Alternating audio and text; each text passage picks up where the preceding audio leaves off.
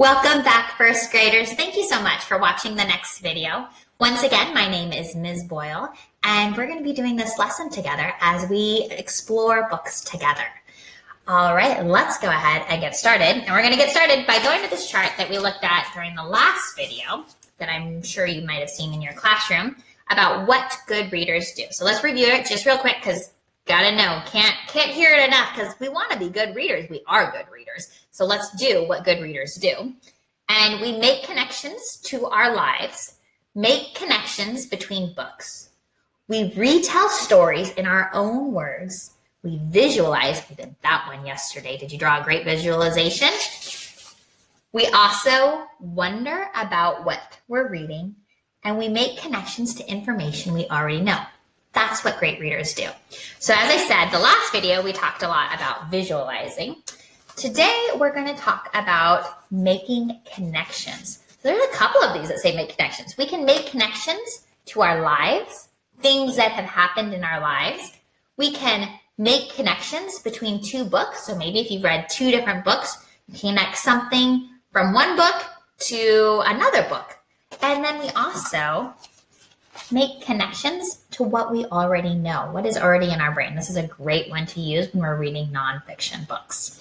So today, as I said, our target is to make connections to the book as we're reading.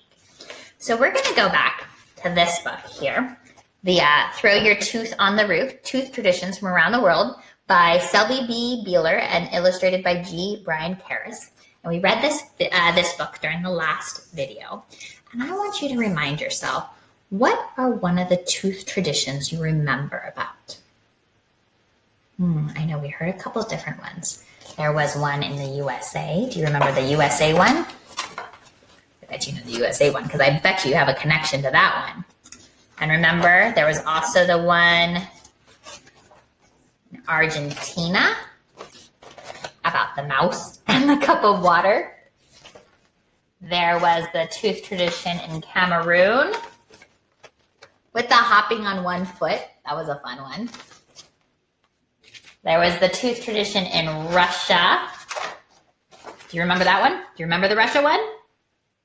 I drew a picture. I drew a visualization or a picture of my visualization where they put the uh, the tooth in a mouse hole. And we also read about the tradition in Vietnam where they throw their teeth on the roof or under the bed, depending on whether it was a top or bottom tooth. Did you remember any of those traditions? I hope you did. We are going to read some more traditions today. So, as we are making connections to the book, we are going to think about how things are the same and the different in the same book. Thinking about how one tradition is the same as another tradition and maybe how it's different. So I'm going to go to two tooth traditions that we haven't read yet. This first one is from El Salvador. Let me show you on the map where El Salvador is. So El Salvador, there's this part that connects North America to South America, and this is Central America. It's kind of the skinny part there. And El Salvador is right there. So in El Salvador, this is their tooth tradition. I put my tooth under my pillow my father says that during the night, a rabbit will come. It will take my tooth and leave me some money. So they don't have a tooth fairy, they have a rabbit that comes. That's a fun one. And then I'm also going to read Tooth Tradition from Colombia, which is just a little bit further south. So it's in South America. So there was El Salvador. So just a little bit down south. And let's see if there's a connection between those two traditions because that's something good readers do. They look for connections. So I'm going to read the um, the Colombia one, and let's see. In Colombia, I put my tooth under my pillow and wait for a mouse called El Roton Miguelito. Sorry, I'm not sure I'm pronouncing that right, but I believe that is El Roton Miguelito to take my tooth and leave money in its place. So there's a picture of that mouse taking the tooth and leaving behind money. So we heard about two different tooth traditions from two different parts of the world. And I want to think about how are these traditions the same and how are they different? So right now I want you to think about how are they the same? So here we've got we've got a mouse taking it and leaving money.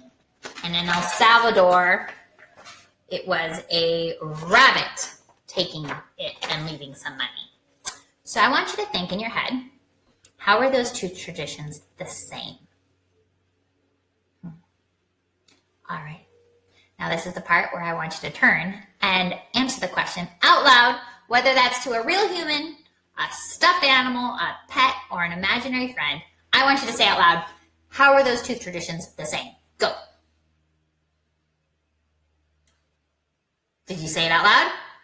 I felt like you did. And I think that some of the ways that they're the same is that both of them are small animals that come and they leave money. So that seems, this seems pretty much the same.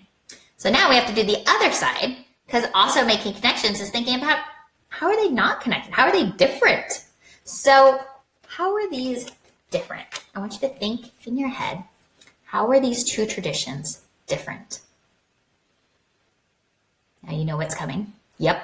Say it out loud. How are these tooth traditions different? Go.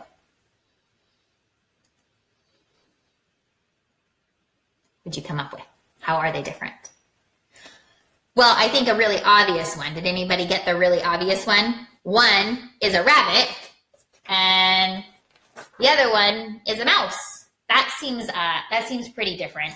This one, I don't know if they just if the rabbit doesn't have a name or if it's just any rabbit just says a rabbit, not a special rabbit. So this one is maybe just any rabbit will come and get the tooth.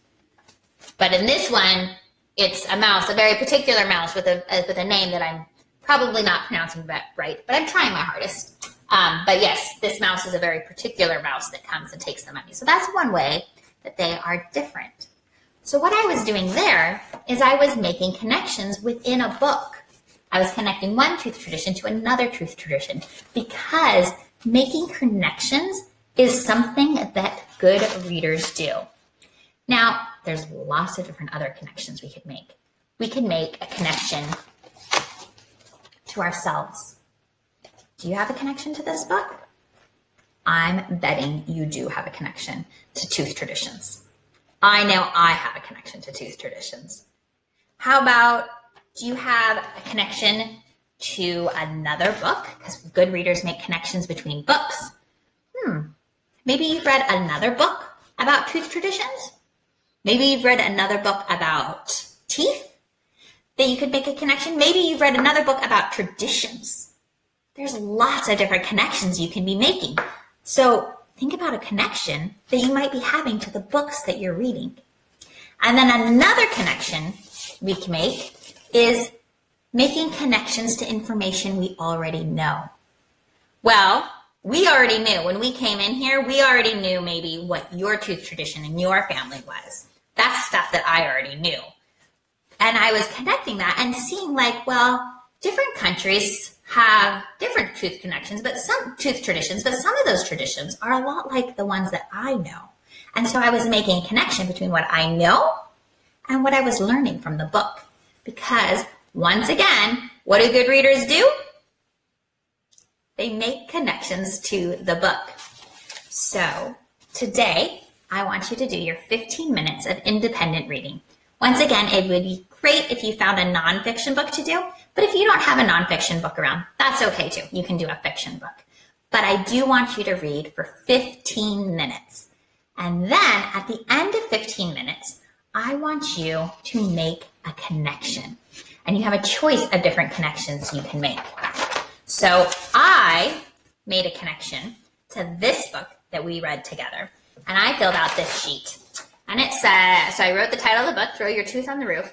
And then you can see there's some boxes. And it says, My connection is to, and I had choices myself, another book, or what I already know. So I had three choices on connections I could make. And I had lots of connections to this book, but I chose to make a connection to myself. So I checked myself box and then I wrote my connection. And I wrote, my connection is in El Salvador, a rabbit takes the tooth and leaves money. During Easter, the Easter bunny came to my house and left candy. So I have a connection because I remember the Easter bunny coming and he left me some delicious candy. And there they have a bunny that leaves money for a tooth. So that was my connection to what I already, for my life, to this book. Now, I would love for you to read your book during your 15 minutes of independent reading time, and then for you to make a connection too. So you might have a sheet that looks like this that your parents printed out. If you don't, of course, a blank piece of paper works totally well too. Because all you have to do is write the title of the book, then you're going to check which connection is it to. And if you're using a blank piece of paper, you would write, you could just write myself, another book, what I already know. You can just write that.